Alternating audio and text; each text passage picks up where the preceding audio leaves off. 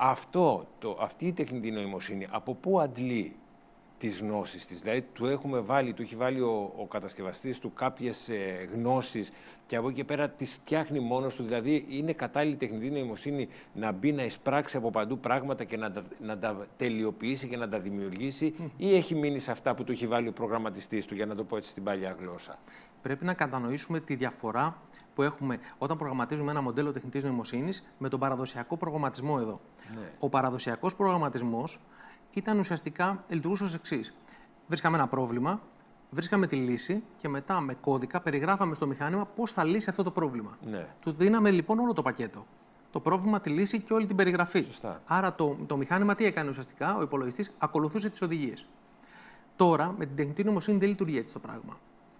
Εδώ φτιάχνουμε ένα μοντέλο το οποίο το εκπαιδεύουμε, να του δίνουμε έναν στόχο και μετά αυτό πρέπει να βρει τον τρόπο να βρει τη λύση για να επιτύχει αυτόν τον στόχο. Στην ερώτησή σου, το ChatGPT, ας πούμε, είναι ένα μοντέλο το οποίο έχει εκπαιδευτεί από δεδομένα από το ίντερνετ. Άρα η OpenAI τι έχει κάνει, έχει κάνει αυτό που λέμε scrape, έχει πάρει όλο το ίντερνετ, έχει μαζέψει όλα τα κείμενα από Wikipedia, από Facebook, τα πάντα προσωπικά δεδομένα, Ναι. σαφέστατα. Α, έχει και δικά μας προσωπικά. Σαφέστατα. Σαφέστατα. Από social media, από YouTube, τα πάντα. Και όλα αυτά τα δεδομένα τα έχει φιντάρει, όπως λέμε, έχει, τα, τα έχει ταΐσει το μοντέλο, όπου το μοντέλο άρχισε και μέσα από αυτά εκπαιδευόταν. Είναι online, δηλαδή εξακολουθεί να, να ενημερώνεται και να εκπαιδεύεται για καινούργια πράγματα ή ε, πρέπει ανά δύο μήνες να το ξαναταΐζουμε, να το ξανασυνδέουμε, ξέρω εγώ, να το πω εσύ λαϊκά, απλά; Πολύ, πολύ στοχευμένη ερώτηση και πολύ σωστή. Γιατί εδώ μου δίνετε την ευκαιρία να πω το εξής. Όταν πρωτοβγήκε το ChatGPT, είχε δεδομένα μέχρι τον Σεπτέμβρη του 2021. Ε, αυτό είχε ανακοινώσει η εταιρεία, ότι πήραμε από το Σεπτέμβριο του 2021 και πίσω όλα τα δεδομένα. Μιλάμε τώρα για 50 χρόνια διαδικτύου. Έτσι, μιλάμε για πάρα, πάρα πολλά δεδομένα. Όγκος, ναι. Ε, και το εκπαιδεύσαμε με αυτά τα δεδομένα. Και μάλιστα είχε πει ότι θα σταματήσουν εκεί, γιατί δεν ξέρουμε τις επιπτώσεις παρακάτω.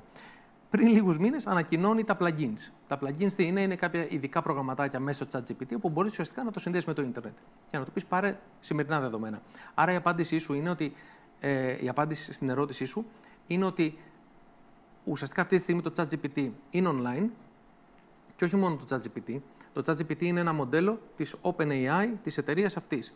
Παράλληλα, να έχουμε στο μυαλό μας ότι η Google κάνει το δικό της μοντέλο, η Microsoft έχει πάρει το ChatGPT γιατί συνεργάζεται με την OpenAI και έχει φτιάξει και ένα δικό της μοντέλο. Υπάρχουν άλλες εταιρείες όπως η Anthropic, το δικό της μοντέλο. Θέλω να πω ότι έχει ξεκινήσει μια, ένας αγώνας δρόμου, Απίστευτο. ο οποίος ε, σε, σε, σε δεδομένα επιχειρηματικά και επειδή έχει μόνο, το μόνο σκοπό που έχει ουσιαστικά αυτός ο αγώνας είναι να βγάλει έναν νικητή, οπότε τρέχουν όλοι να δουν ποιος θα πάρει το μεγαλύτερο κομμάτι της πίτας, ε, έχει ως αποτέλεσμα να μας φεύγουν μερικές λεπτομέρειες, οι οποίες δεν είναι λεπτομέρειες, είναι πράγματα τα οποία μπορεί να αποβούν μοιραία και καταστροφικά για το μέλλον. Όπως